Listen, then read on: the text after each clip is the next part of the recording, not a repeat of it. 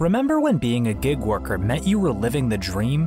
Flexible hours, unlimited potential? The glory days of choosing your own schedule, making great money, and being your own boss? Well, those days are dead.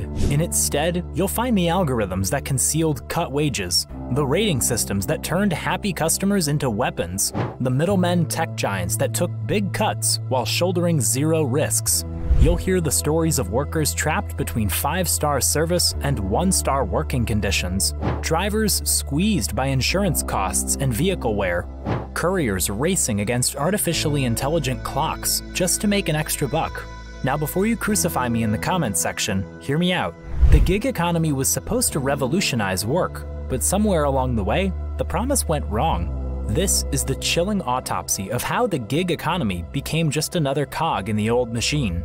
Here's what really killed the gig economy's buzz.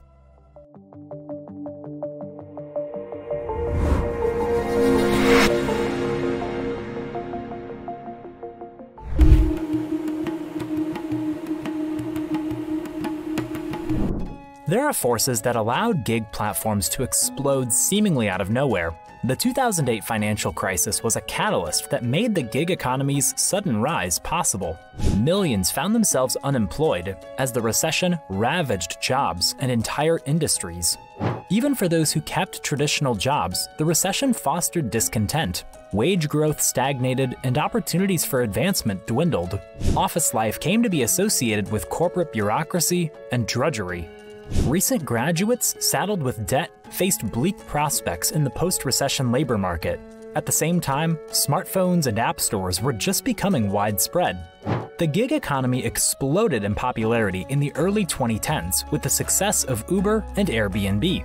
Platforms like Uber realized mobile technology could enable connections between freelance workers and customers needing a service on demand. GPS made coordinating rides efficient, Payment could happen seamlessly via an app. This allowed almost anyone to monetize their time, skills, or assets in a scalable way. Millions of idled workers leaped at the chance to earn extra income on flexible schedules as free agent contractors. By classifying workers as contractors rather than employees, they tapped into massive supply while avoiding costly benefits. The recession had shaken confidence in lifetime corporate jobs with benefits and pensions. The gig economy offered a radical new vision be your own boss, set your own hours, ditch the office. Uber, Lyft, Airbnb, Upwork, and other platforms drew in huge supply and demand thanks to this perfect storm. The rapid adoption surprised even the startups themselves. Uber alone went from zero to over 1 million drivers in just a few years, other companies emerged offering similar services. At its peak, over a third of Americans participated in the gig economy, be it driving, delivering, renting, or freelancing. Venture capital poured in, valuing companies like Uber and Lyft at tens of billions of dollars. Their meteoric growth and promise of disrupting entire industries with on demand labor captured the public imagination. For a generation scarred by economic collapse and stagnation, the gig economy represented a new path forward. The chance to control one's destiny as a micro entrepreneur had great appeal after the corporate ladder was upended. This brewing disillusionment with traditional employment, combined with enabling technology, set the stage for the gig economy's meteoric rise. When the status quo fails, radical ideas can take hold rapidly. This new digitally powered model shook stagnant sectors like the taxi and hospitality industry. For a while, the future seemed bright as workers and customers believed that within a decade, all work would be gigified.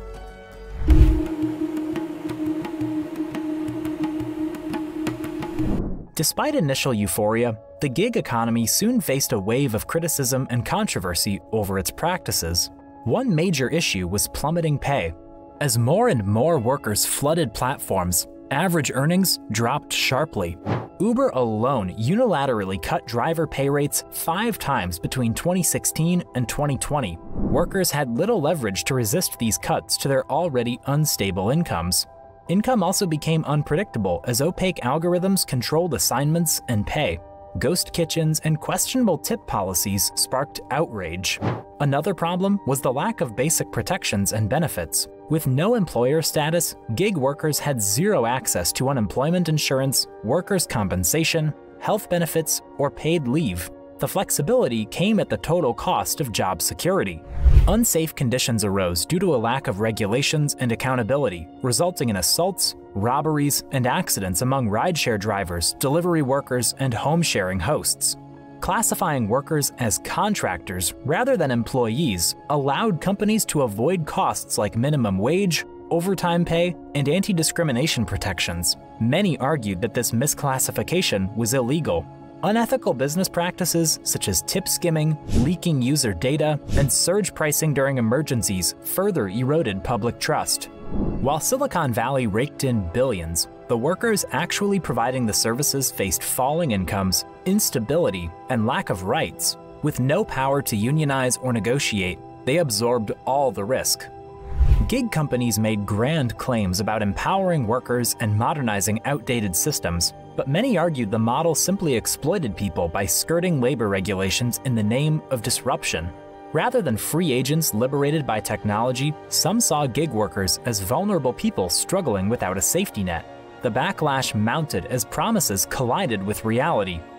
Has falling pay or lack of security put you off gig platforms? Let us know in the comments below as we explore how the pandemic made things even worse for many gig workers.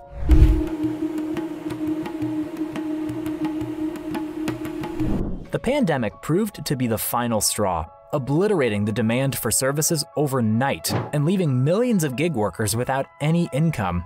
It brought to the fore how precarious gig work could be.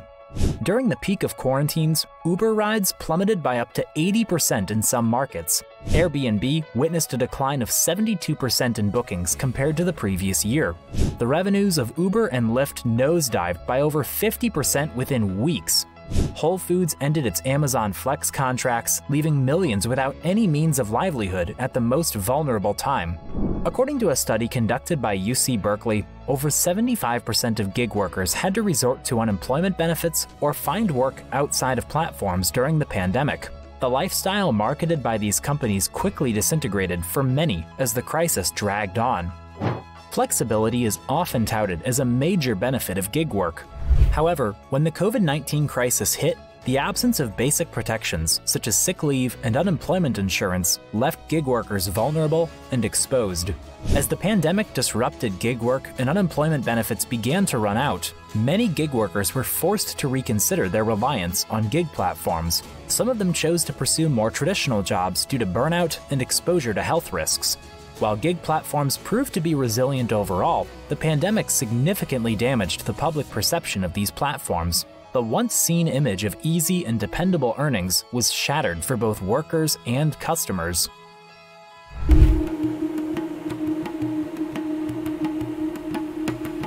Companies that rely on gig workers classify them as independent contractors to avoid regulations such as minimum wage, overtime, health insurance, and paid leave. However, many cities and states are taking action against this arrangement. New policies are being put in place to mandate minimum earnings, limit hours, and force benefit contributions. Some are even trying to make gig workers full employees. Governments have been working to provide basic protections to gig workers by classifying them as employees entitled to minimum wage, paid leave, and other benefits. However, companies like Uber and Lyft have fought against these efforts.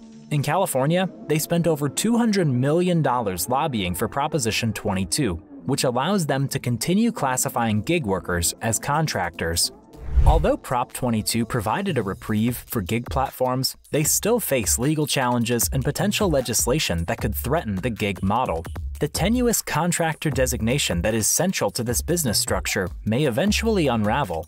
While gig companies gained lower costs and no responsibilities, they also slammed the door on gig workers gaining meaningful protections and benefits. This led to a public backlash against companies that prioritized profits over fair treatment. Lawsuits alleging improper classification have mounted, with Massachusetts suing Uber and Lyft and obtaining a court ruling that drivers must be classified as employees. Other states have enacted bills that give new rights and protections to gig workers. Labor unions have also stepped up efforts to organize drivers and delivery workers in the face of company union busting tactics. The tide is turning decisively against gig companies that try to escape liability by relying on contractor loopholes.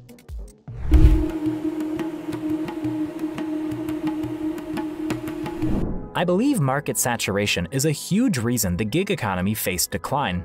Companies focused on recruitment to scale up, which led to a surplus of labor supply that far exceeded customer demand. This resulted in reduced income potential for gig workers as they struggled to compete for scarce gigs. Gig workers were left powerless due to a lack of visibility into true labor demand. Companies were not obligated to provide a minimum wage, which further decreased wages every year. The overzealous expansion of companies was unsustainable. Furthermore, customer acquisition and retention costs increased as hundreds of platforms offered identical services. The practice of offering deeply discounted promotional offers to stand out from the competition became unsustainable.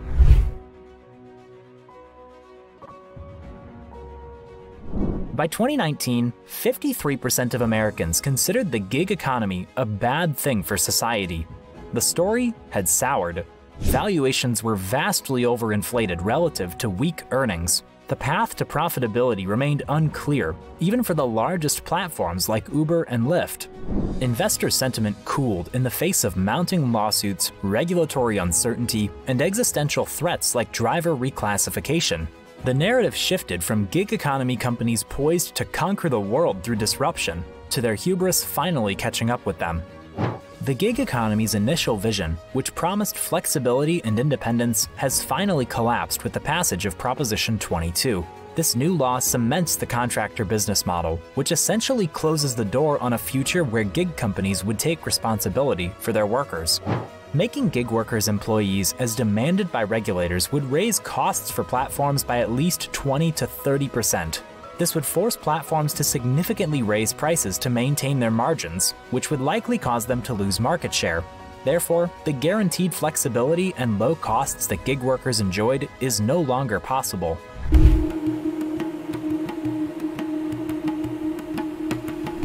Despite the major gig platforms like Uber still operating, their valuations have been drastically slashed from their peaks. Gig work still exists, but it no longer carries the same appeal of liberation and prosperity that it once had. The promises of technology replacing traditional employment were false.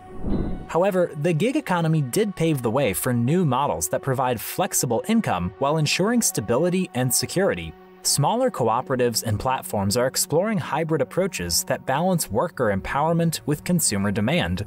While some aspects of gig work still survive, the future looks very different from the lofty vision sold a decade ago. The rapid expansion without accountability proved unsustainable. Nonetheless, the saga offers lessons for achieving the right balance.